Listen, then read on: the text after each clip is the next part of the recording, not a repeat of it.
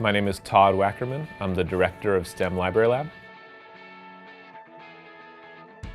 The library is currently this beautiful classroom that you're seeing right now, and it's about $100,000 worth of equipment that we have on shelves. It ranges all of the various typical subjects that you might see from K-12, so that's biology, anatomy, health, chemistry, environmental science, earth science, physics, physical science, math, all the different things that you might need in any K-12 classroom.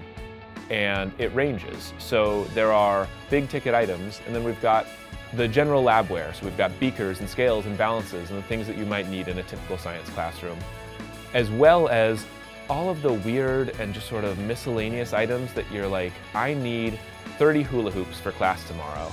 And when I'm done with them, I do not want 30 hula hoops. We currently have 12 member schools throughout Greater New Orleans. They run K-12, so we've got students as low as preschool using equipment all the way up to students in high school. The teachers at our 12 member schools can borrow anything they need all year long. So a membership enables them to come to the library and check out anything that they need for their classroom.